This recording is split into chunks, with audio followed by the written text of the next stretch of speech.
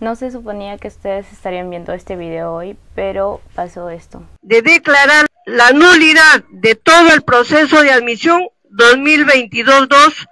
Y mientras eso pasaba, yo aún sin enterarme estaba grabando y editando el video que se suponía que debía subir hoy. Pero esas cosas pasan y hay que cambiar de planes. Este es el video que estaba preparando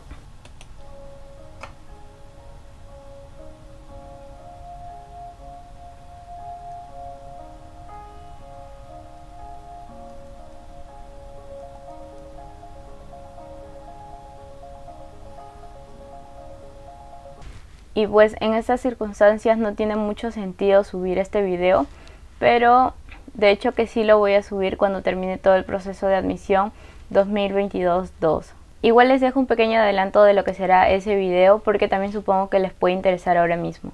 Esta parte se escucha demasiado bajo así que lo voy a narrar. Por si acaso no se escucha bajo en el video solo se escucha bajo en el video del video.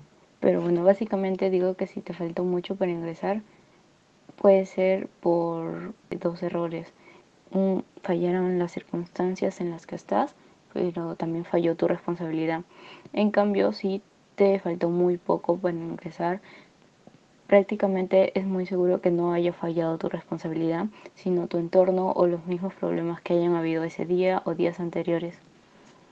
Y con ustedes un pequeño mensaje a los postulantes que escribí hace un rato. Todo lo que ha pasado es lamentable. Lamentable para los que postularon e ingresaron de manera honesta y con esfuerzo. Al tratar de escribir esto no podía dejar de pensar en el día en que ingresé y cómo me hubiera sentido si me hubieran dicho que la carga emocional que significó afrontar ese examen de admisión y posteriormente recibir la noticia de que había ingresado era completamente nula. Como si fuera una experiencia de la cual se aprende pero no se gana absolutamente nada. No puedo ni siquiera imaginar lo que significa pasar por esto, ni mucho menos pensar en la angustia que muchos sienten en este momento y que aún no tiene fecha de caducidad. Es muy complicado, es demasiada presión para los que tendrán que volver a ingresar, porque ahora, ¿quién les asegura a todos aquellos que alcanzaron una vacante de manera justa que volverán a ingresar?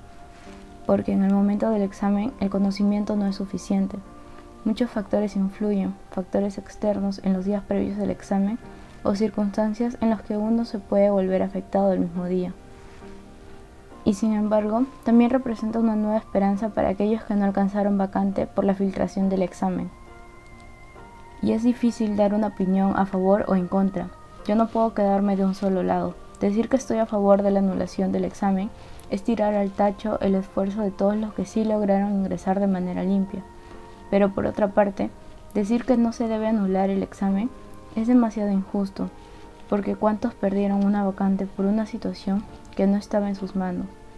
Y es injusto que otros logren ingresar con el mínimo esfuerzo, cuando muchos en este canal sabemos lo que significa ser preuniversitario. Así que lo que sí puedo decirte es que luches hasta el final.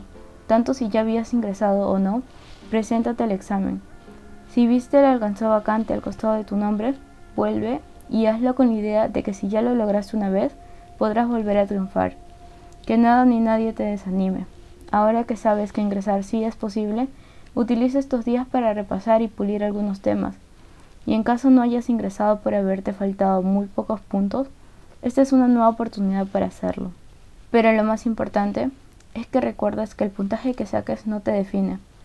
Es válido llegar al examen de admisión con miedo, e incluso es válido equivocarse, porque mientras lo hagas de la manera correcta, siempre podrás volver a intentarlo.